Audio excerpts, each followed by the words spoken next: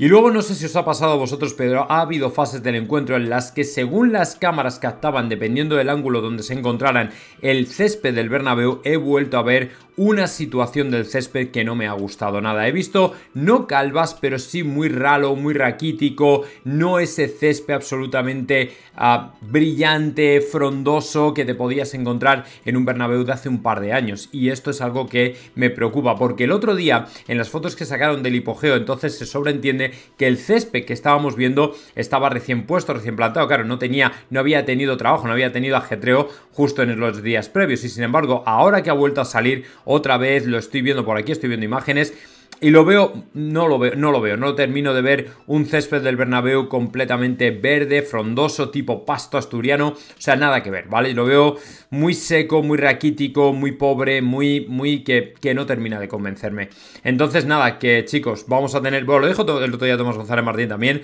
que efectivamente como iban a venir tres o varios partidos seguidos, me parece que tres, eh, hay que contar con ello. O sea, el polvo de las obras al final pues no está haciendo ningún buen favor y bueno, pues tenéis de una forma o de otra o tenemos de hecho una situación que ahora mismo con la que tenemos que lidiar. Ojalá que todo esto sea temporal, ojalá que todo esto sea simplemente cuestión de esperar, cuestión de que veamos un poco, eh, bueno, pues cómo o hacia dónde evoluciona el tema del césped. Vamos a ver si ya una vez que terminen las obras lo que sea, el polvo, lo que esté afectando al césped, pues de alguna manera le deja descansar, le deja respirar, le deja recuperarse y el hipogeo lo puede mantener en perfectas condiciones que por el contrario pues no parece que esté funcionando. Eh, yo entiendo que es cuestión de tiempo, entiendo que es cuestión de tiempo, pero bueno, vamos a ver qué, pasa, vamos a ver si efectivamente, eh, no sé, es un problema recuperable, salvable, porque si no, dime tú a mí cómo vamos a andar haciendo cambios de césped, cambios de superficie para otros eventos, para conciertos, para deportes, o sea, es que va a ser un auténtico jaleo y demasiado estrés para el césped que desde luego está sufriendo de lo lindo.